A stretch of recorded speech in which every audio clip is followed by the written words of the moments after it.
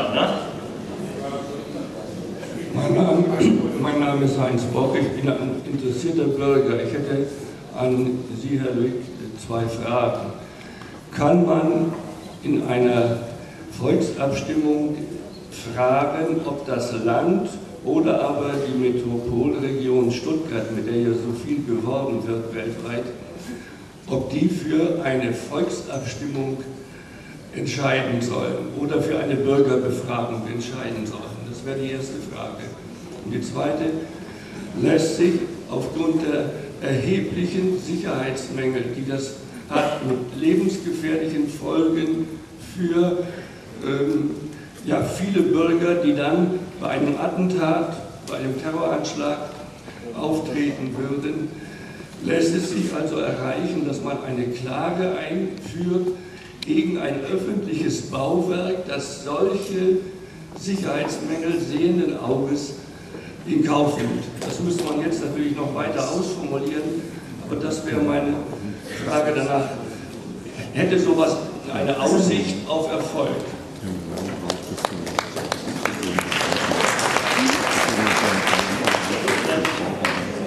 Okay, ähm, zur Volksabstimmung habe ich ja schon meine Meinung gesagt.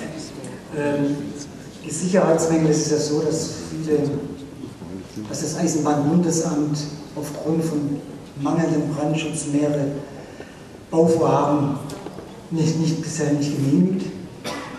Ich finde, das sagt alles aus über äh, die geplanten Projekte. Ich finde es auch absurd und wahnwitzig, einen Bahnhof bauen zu wollen, oben im Flughafen, der bis zu 30 Meter unter der Erde ist. Wie sollen sie da hochkommen? Da gibt es ein sogenanntes Selbstrettungskonzept. Also setzt sich durch, wer durchkommt. Ähm, und das ist einer der modernsten Bauwerke der Welt, was es angeblich sein soll. Also ich finde schon, dass überhaupt auch diese ganze Tunnelbauten sehr, sehr fragwürdig sind. Auch diese Neubaustrecke, ich will ja nicht allzu viel sagen zu dieser Neubaustrecke, aber nur kurz angedeutet. Diese Neubaustrecke, ich weiß, es gibt einige, die für die Neubaustrecke sind, aber das ist ja eines der wahnwitzigsten Unterfangen, die es in der Bahngeschichte gibt. Vom tiefsten Punkt der Strecke baut man an den höchsten Punkt der Strecke in einem Tunnel. Normalerweise, Leute, die alles können, außer Hochdeutsch, die bauen Tunnel, um durch, durchzustechen, ebenerdig. Ich glaube nicht, dass die Schweiz auf St. Gott an die Spitze gebaut hat und dann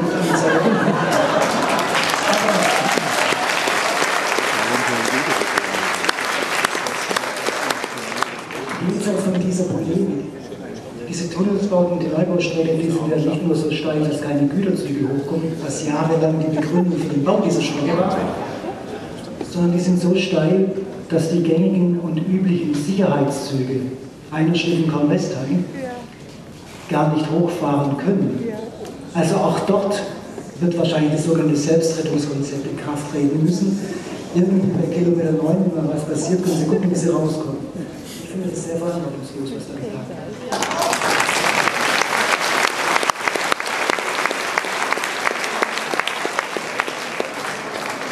Das war nur eine halbe Antwort. Also wäre denn jemand bereit, mit Das kann ich doch nicht beantworten, das muss ein Jurist machen. Ja, wo kann man sich da organisieren?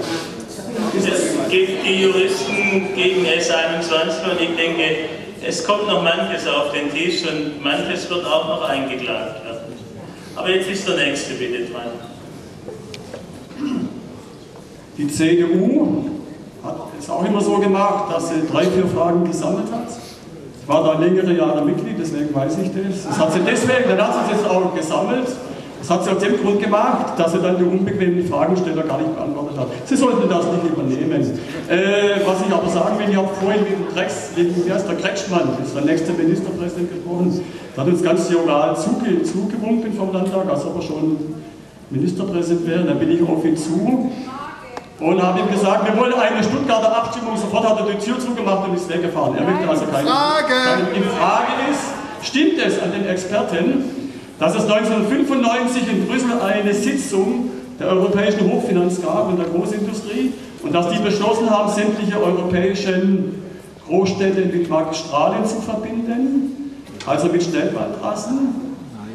Und dass also Stuttgart 21 demzufolge eigentlich eine Anweisung aus Brüssel ist und unsere Politiker praktisch nur diese Anweisung ausführen.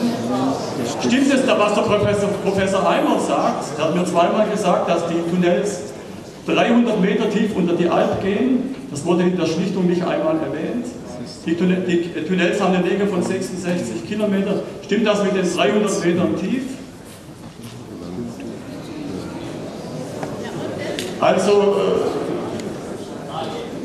Frage habe ich keine mehr. Wir können ab sofort gegen die Grünen demonstrieren, weil die haben uns vorhin verraten und haben einer landesweiten Volksabstimmung zugestimmt. Die wird im Oktober stattfinden und die werden wir verlieren. Danke. Die nächste, bitte. Ich bin stellvertretende Versammlungsleiterin der Parkwache. Ich wollte Sie um Ihren Rat bitten.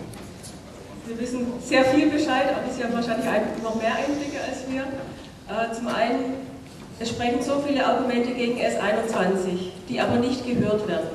Haben Sie uns Tipps, welche Themen wir aufgreifen sollen, verstärkt bearbeiten sollen, sage ich jetzt mal, auf welche Art und Weise auch immer. Aber welche, welche Themen sind erfolgsversprechend? Die zweite Frage ist, auf welche Art und Weise sollen wir uns weiter gegen S21 engagieren? Wir sind vielfach vertreten, sichtbarer Widerstand im Park, Bürgerbegehren, Blockaden, auf sehr viele Art und Weisen. Was würden Sie uns raten? Was halten Sie für Erfolgsversprechen, auch im Hinblick auf die Medien?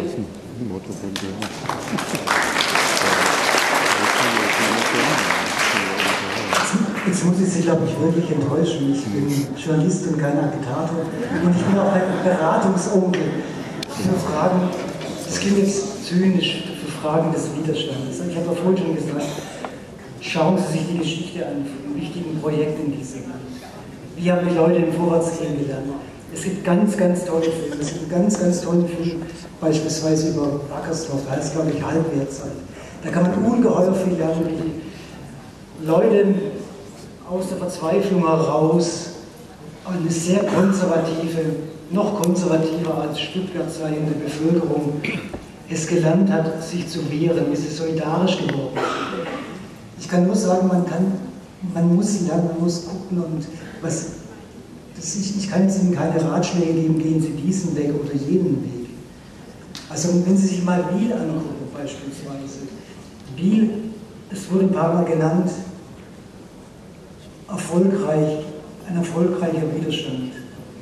In Wiel gab es aber eine Bauplatzbesetzung. Ich weiß nicht, ob sowas hier machbar möglich ist, ob sowas sinnvoll ist, keine Ahnung. Sie müssen selber für sich Dinge überlegen und diskutieren. Ich berichte nur, was, was, aus der Bahn, was in der Bahn passiert, was die Bahn plant, was die Politik plant. Aber das sind Fragen, die ich Ihnen wirklich nicht beantworten kann.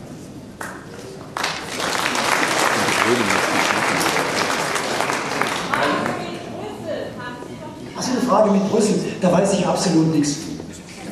Äh, gibt es eine Veröffentlichung, die über äh, Ihren Artikel im Stern hinausgeht, über die 121 Risiken, von denen Sie heute äh, gesprochen haben. Wo kann man da etwas nachlesen?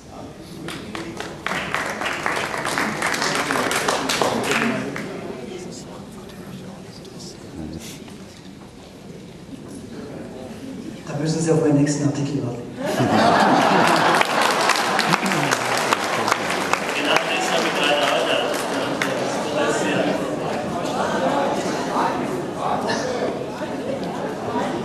Stehe ich hier.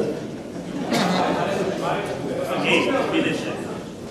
Bekommen wir, hier, bekommen wir das hier häppchenweise serviert. Ich habe eine konkrete Frage zur Abwechslung. Ich habe eine konkrete Frage zur Abwechslung zu dem Artikel. Und zwar sprechen Sie da, dass es an konkret benannten äh, Risiken 1,2 Milliarden gibt und dass von Fahnexperten, wohl Herrn Bruder geschätzt, noch ungefähr 2 Milliarden dazukommen. Ist da meine Rechnung richtig, dass ich diese Risiken, das sind ja 100% Risiken, dass die sich natürlich nicht zu 100% diese 3,2 Milliarden verwirklichen, sondern eben nur ein gewisser Prozentsatz davon. Ist es dann nicht so, dass, wenn man von den 3 Milliarden ausgeht, schon 17,5% Eintrittswahrscheinlichkeit genügen würden, dass diese 500 Millionen, die jetzt bis zu die auf die äh, 1,5 Milliarden, 4,5 Milliarden fehlen, dass die schon dazukommen würden und das Projekt dann finanziell gesprengt wäre oder ist diese Rechnung falsch? Ich habe jetzt, muss ich zugeben, Ihre Rechnung nicht richtig verstanden, aber ich will mal versuchen, meine Rechnung auch zu antworten. Ähm, es werden insgesamt in der Höchstrisikoklasse, die bis zu 99 Prozent gehen, werden 20 Risiken mit Zahlenbändern, wenn die zusammenzählt, kommen auf 621 Millionen Euro. Also schon ist man da weit über diesen 4,5 Milliarden, die die Schmerzgrenze ist. Das ist intern. Jetzt weiß ich, dass bei diesen Risiken intern noch niedriger gerechnet wurde, als offiziell die Zahlen da sind. Sind zwar in diesen Dossiers schwarz auf weiß Zahlen, aber die Macher denken, dass es noch mehr wird. Also insofern ist es intern offensichtlich klar, dass diese Zahl von 4,5 absolute Makulatur ist. Das ist, bitte, das ist weit, das ist weit, weit über 5 Milliarden hinausgehen wird. Und dazu kommt ja noch diese Zahlen, die jetzt intern genannt und äh, aufgelistet wurde, das ist ja noch vor der Vergabe von den großen, den wirklich großen Bauwerken, den Tunnelbauten beispielsweise hinauf zu Flughafen. Und insgesamt wurden mit den etwas kleineren Risiken, bis zu 50 Prozent Wahrscheinlichkeit, das sind 88 Risiken im Text genannt und 28 mit Zahlen genannt. Und auch die kommen dann auf eine Summe von 642 Millionen Euro. Also die Summe auf 1,2, was relativ wahrscheinlich ist. Also brauchen wir keine Volksbefragung. Die Leiche entstanden. Vor einigen Monaten war in einem Artikel der Stuttgarter Zeitung zu lesen, dass eine ganze Reihe privater Güterzugbetreiber Anspruch auf die Strecke erhebt und dass sie Klage gegen die Bahn erheben wollen. Danach habe ich nie mehr was gelesen davon. Es ist ja so, sobald jemand Anspruch erhebt, kann diese Strecke nicht abgebaut oder entwickelt werden. Wissen Sie da was darüber? Da habe ich nämlich gehofft, dass es vielleicht über diesen Weg gestoppt werden kann.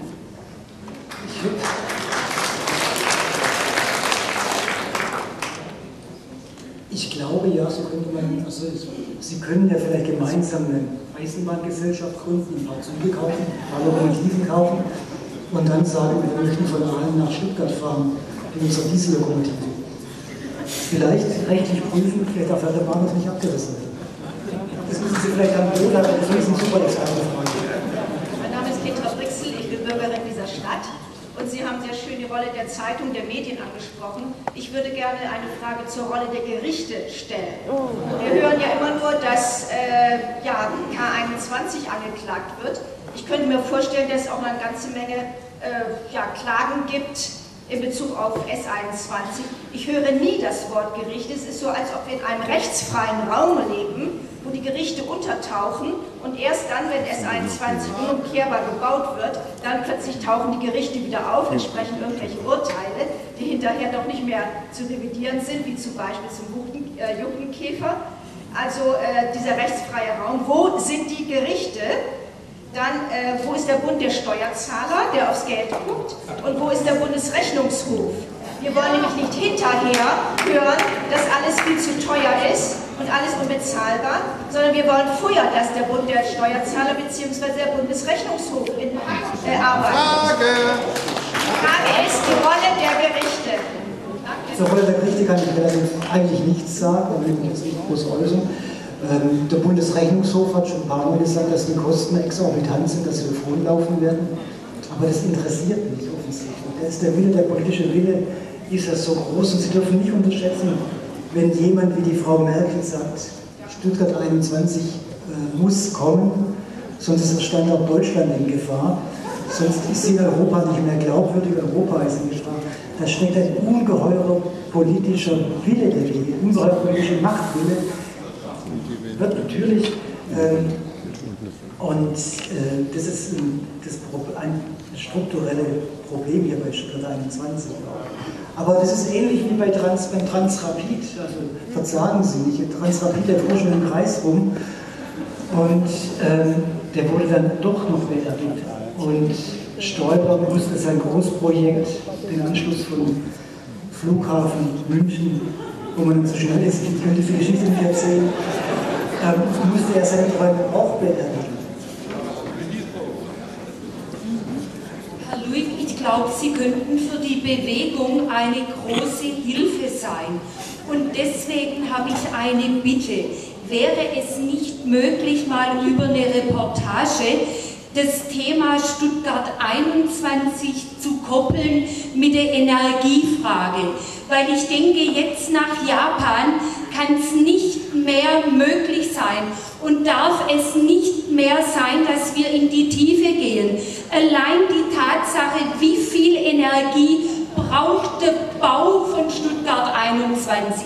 Wie viel Energie braucht dieser Bahnhof, wenn er mal gebaut ist? Ja. Und wir haben ja den dritten Weg, wir haben den Solarbahnhof und der ist noch viel zu wenig bekannt, der Kopfbahnhof mit Solardach.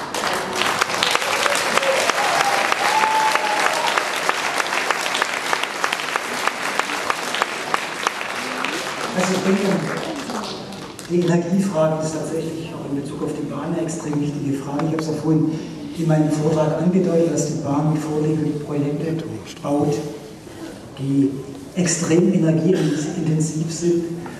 Und auch der Tiefbahnhof wird extrem viel Energie verschwenden, äh, verschwenden wird extrem viel Energie brauchen, wenn Sie nur dran denken, beispielsweise an die Rolltreppen und so weiter und so fort, Fahrstände und so weiter. Es ist völlig anders als äh, der Bahnhof oben auf der Erde.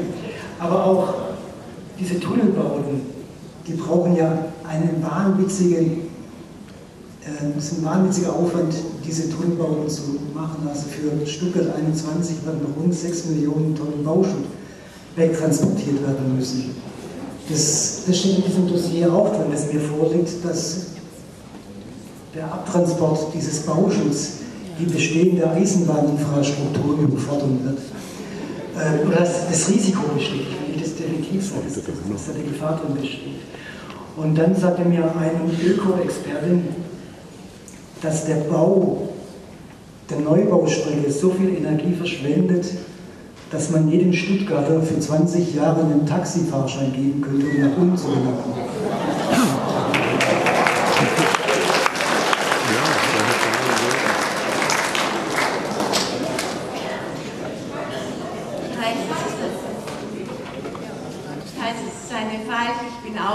Bürgerin dieser Stadt und ich denke immer, mit Vernunft ist dieses Projekt nicht mehr zu stoppen. Aber also mich, ich würde es sehr gut finden, wenn man mal wieder einen Artikel lesen würde zur Finanzierung des Projekts. Und zwar gibt es ein sehr einleuchtendes Video im Internet, in YouTube, das heißt, wer zahlt S21? Und da ist mir eigentlich, es ist sehr gut belegt mit Quellen überall und mir selber ist dabei klar geworden, dass äh, eigentlich Stuttgart 21 durchs Land und die Stadt bezahlt wird und nicht durch, was weiß ich, Bund und vor allem auch Bahn. Und das wird uns ja immer noch vorgegaukelt, ach, das ist für die Bahn zu teuer. Und ich fände es unheimlich wichtig, weil dadurch auch diese Lüge, muss wirklich so sagen, das Geld ins Land zurückkommt. Ja, das wir haben ja immer so viel bezahlt und durch das Projekt kommt Geld ins Land zurück. Das scheint mir ein ganz gigantischer Betrug und das wäre ja auch für die Volksabstimmung eine ganz wichtige Frage.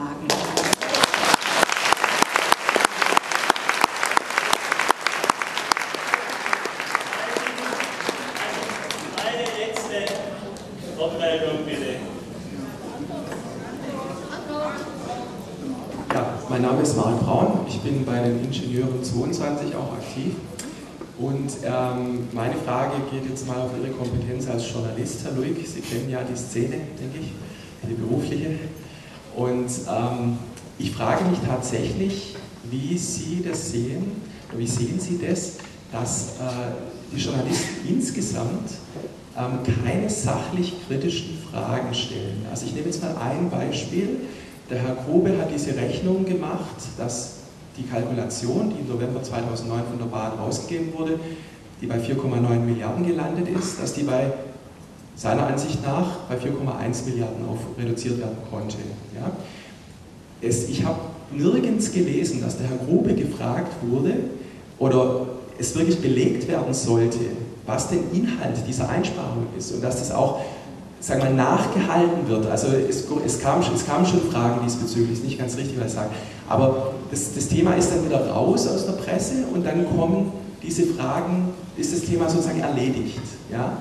Also ich frage mich, wo ist da auch das Problem? Also das, was politisch gewollt ist, scheint mir auch sich wiederzuspiegeln im, im Journalismus, dass eben nicht sachlich kritisch an den Sachen dran geblieben wird. Woran liegt denn das? Ja.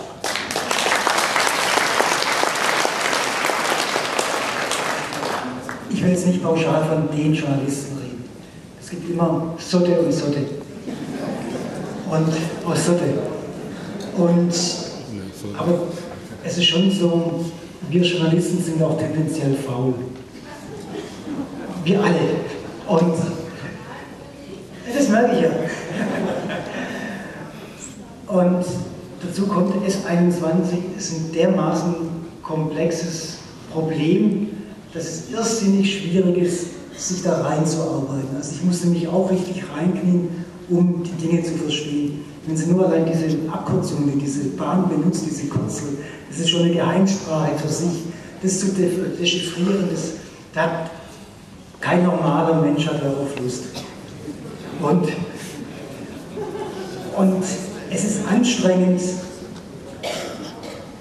die perfekt vorformulierten Statements aus dem Bahntower zu hinterfragen. Sie müssen sehen, das ist ein riesen, riesiger Presseapparat, den die Jungs haben bei der Bahn. Die sind wirklich gut. Die bereiten das mit Charts auf, das sieht toll aus, das ist wirklich wunderbar, das sieht absolut perfekt aus. Und das dann zu hinterfragen, wenn man einen Redaktionstermin hat, einen Schlusstermin hat, äh, das ist schwierig. Und dann kommt dann auch noch dazu, es ist im Journalismus tendenziell unsexy, über Zahlen zu reden und über Probleme. Es ist viel spannender und lustiger, über die Hochzeit in Großbritannien zu schreiben. Ist auch einfacher. Und nicht zu vergessen, wir Leser lesen das auch lieber. Viele von uns. Ich sage jetzt, Herr Löke, ich sage jetzt mal, das ist, das ist eine das ist eine These, die Sie jetzt auch. Ja, ich natürlich mache Es ist natürlich so, in dem Moment, wo äh, diese, Nein, dieser Stil. Sie müssen wirklich sagen, ist, das ist natürlich das, was eine These, meine These basiert auf, würde ich sagen, 28 Jahre Journalismus. Und eine gewisse Erfahrung mit dem Leser und eine gewisse Erfahrung mit mir und mit Kollegen. Und Sie dürfen auch nicht vergessen, was ich am Anfang sagte bei meinem Vortrag, das ist eine Lokalpost in Hamburg oder Spiegel sitzt und die Zeit hockt und der Stern ist, da ist Stuttgart weit weg und zunächst mal war das einfach nur ein Bahnhof. Einfach nur ein Bahnhof südlich von der Mainland. Bei Schwaben, die noch schlecht Fußball spielen.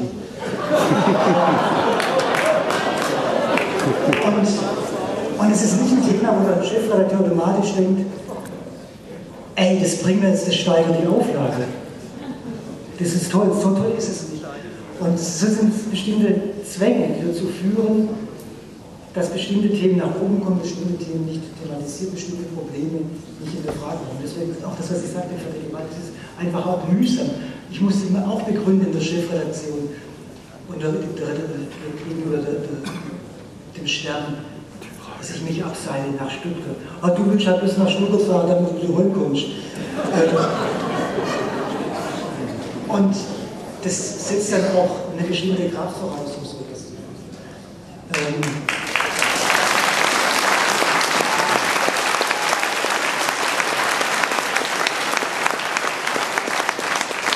Aber es ist schon so ein bisschen, wo ich denke, dass wir Journalisten lernen müssten, wieder kritischer zu sein. Wir dürfen uns nicht einlullen lassen von den Hochglanzprodukten.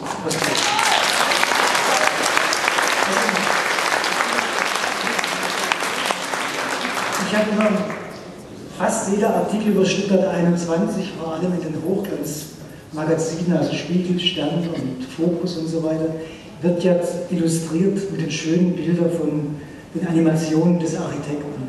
Das sieht ja alles großartig. Da sehnt man sich ja direkt wieder. Das ist natürlich eine subtile, funktionierende Propaganda. Ich sage immer, man macht da auf der Bildsprache, auf der Bildebene, macht man sich zum Transmissionsring von den S21-Befehlern. Wir müssen auch die Bildsprache hinterfragen, so wie wir auch die restliche Information hinterfragen müssen. Aber das ist halt immer, es ist unmöglich. Jetzt auch die Frage mit der Finanzierung, um zum Schluss zu kommen. Ähm, logisch, äh, dass sich natürlich diese Finanzierung ist extrem fragwürdig. Ich habe es ja auch angedeutet, mit wem gehört eigentlich das Gleisgelände? Ähm, das ist ein Teil dieser merkwürdigen Finanzierung. Und auch der Rest der Finanzierung ist hoch dubios.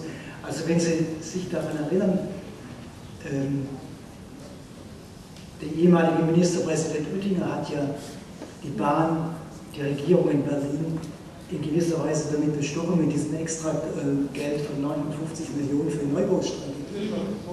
Das ist ja, das ist ja eigentlich, und da könnten ja die Juristen anfangen nachzudenken, das verstößt eigentlich gegen Gesetz. Neubaustrecken sind nicht Sache des Landes. Man könnte ja sogar so weit gehen und sagen, das reiche Land Baden-Württemberg hat sich Subventionen erkauft zulasten von anderen Ländern. Also muss ein Ministerpräsident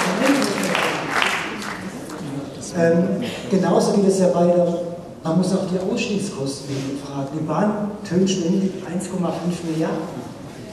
Auch da müsste, finde ich, muss man das hinterfragen. Stimmt es oder ist es nur so ein Angstargument, um bestimmte Politiker in eine gewünschte Richtung zu drängen? Vielen Dank.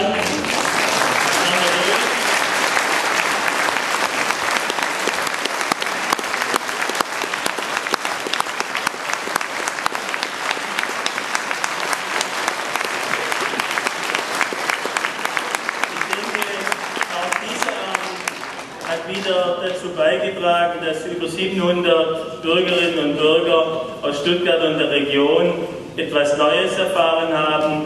Und wir hoffen und wünschen, dass Sie doch noch den einen oder anderen Bericht über das Projekt bringen können in, im Stern. Vielleicht wird ja auch mal ein Büchle draus. Ich könnte mir es gut vorstellen, dass er sich auch mal hinsetzt und alles zusammenfasst. Wir bleiben auf jeden Fall dran. Wir bleiben oben und ich darf mich bei Erna Luig mit einem Remstäler aus Städten, einem Städtener Heder, ganz herzlich nochmal bedanken. Aber erst 14 Tage liegen lassen, da muss ich beruhigen sozusagen und dann kann man gut gekühlt zum schönen Fisch oder was ähnlichem essen. Herzlichen Dank.